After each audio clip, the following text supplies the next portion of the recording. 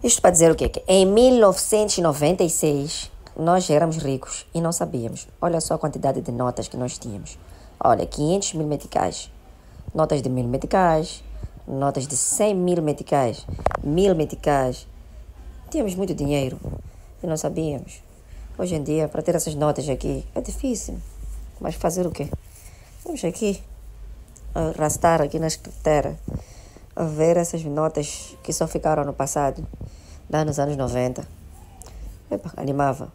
Pronto, comente aí o que você faria se voltasse ao tempo.